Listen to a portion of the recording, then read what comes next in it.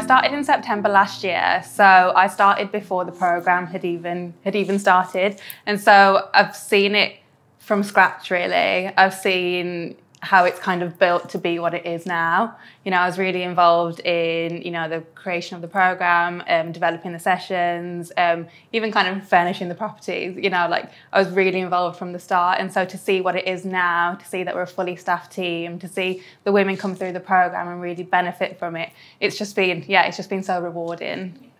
So I think it's important for the for you know people to be aware of the um, the women's program because just to kind of recognize that there's help out there.